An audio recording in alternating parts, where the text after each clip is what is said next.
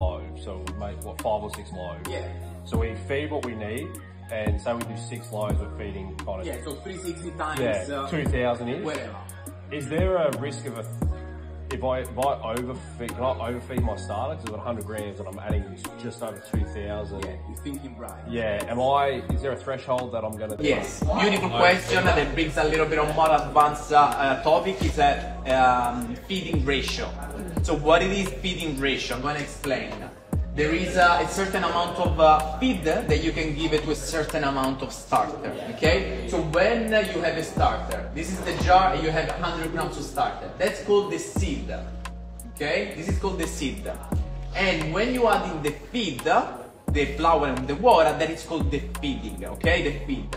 Now this is going to be in a ratio of one is the seed, one is the water, and one is the flour. This is, will give you a feeding ratio of one, one, one. So meaning 100 grams of starter, 100 grams of water, 100 grams of flour. This is a ratio 1, 1, 1. Maximum that you want to go up, what I suggest is 1, 4, 4. So if you have 100 grams of sourdough starter, you can give them 400 grams of water, 400 grams of flour to keep them strong. You can also give up, go up to 188, but I don't suggest because you're starting to diluting them. And when they, you diluting them, you weaken them.